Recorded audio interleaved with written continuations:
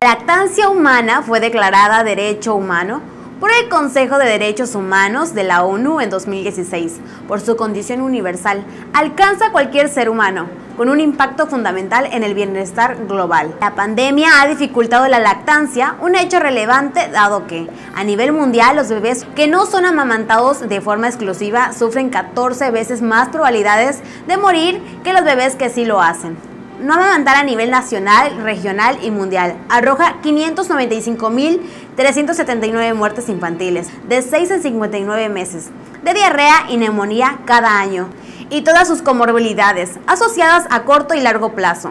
Atribuyen a no amamantar, en cuanto a las madres, la lactancia humana tiene el potencial de prevenir 98.243 muertes por cánceres de ovarios y diabetes tipo 2 cada año. Mi nombre es Gabriela Tindales de Cancún Channel y Contrapunto Noticias.